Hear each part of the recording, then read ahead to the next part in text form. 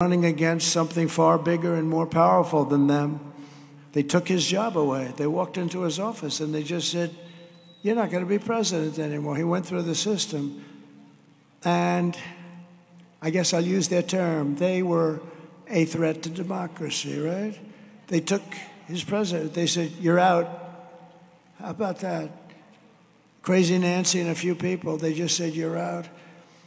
But it's a big machine which is a massive, vicious, crooked, radical left group of people that runs today's Democrat Party.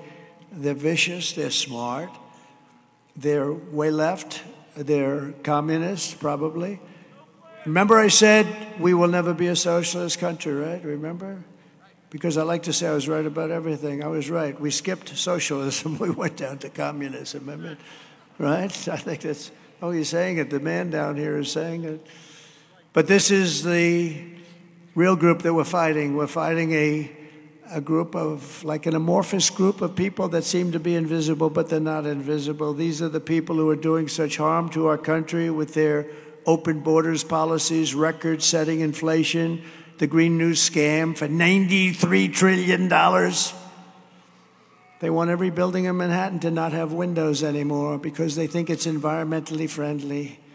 It'd be very interesting. How do you sell an apartment? Let's see. I want to buy a beautiful apartment. It's got no windows, but it's environmentally friendly. Now, these are sick people, but we're not going to let this bullshit happen any longer.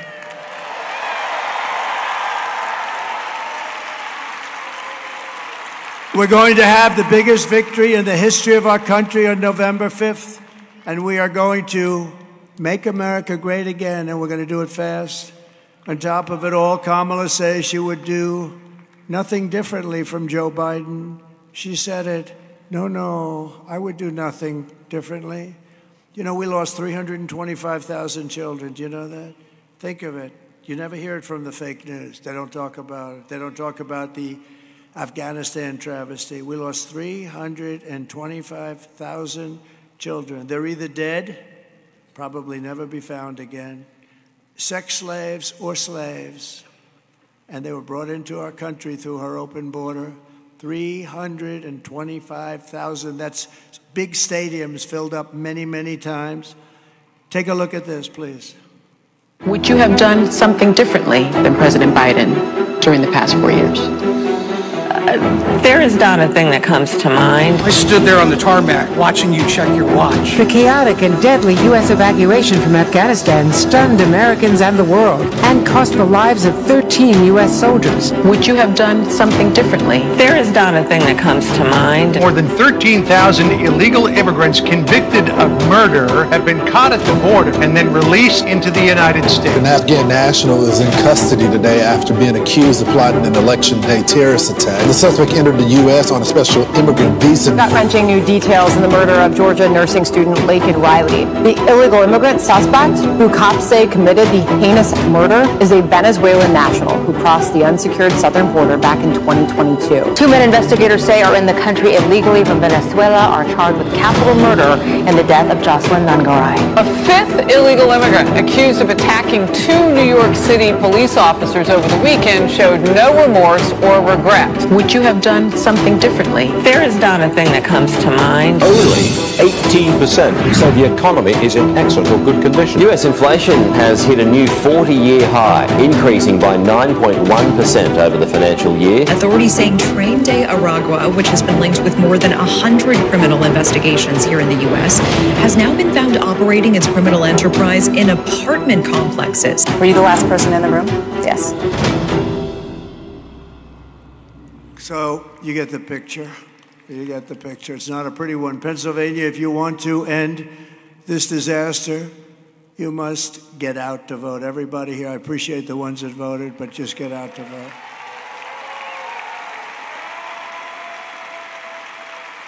And you can start by also voting for David McCormick. He's a great gentleman. He's a great gentleman.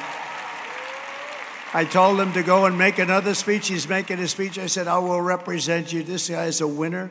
He was a wrestler, too. He wasn't as good as these guys, but who is?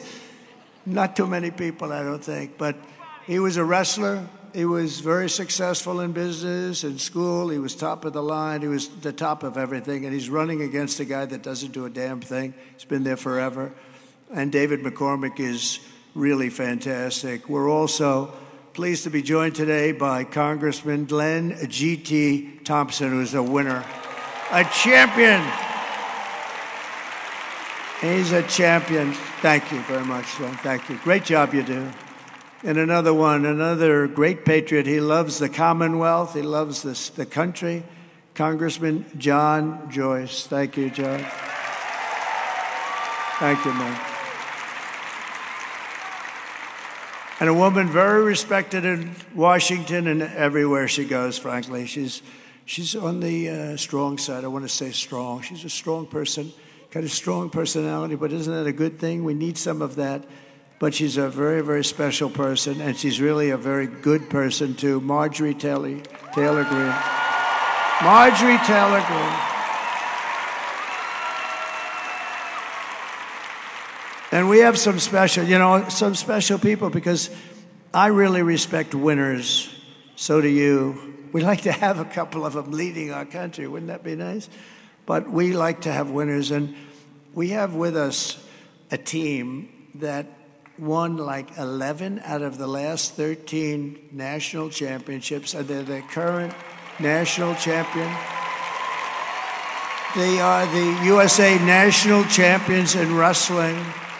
And I would like to ask them I don't know if this platform can hold them because that's a lot of muscle. You know, muscle is much heavier than fat, they tell me, fellas. Is that right? But I'd love to have the team come up here and we can just say hello to them. These guys are, these guys are something. Wow. That's a lot of muscle. That's great, fellas. Wow. Wow, that's great. Bo Nickal is a friend of mine, fellas. You know Bo? You know Bo, right? He's going to be, he's going up there in December or November, right after the election, actually. Be very interesting, but he's a winner. He's a champ. Come on up, fellas. Look at these guys. Look at these guys.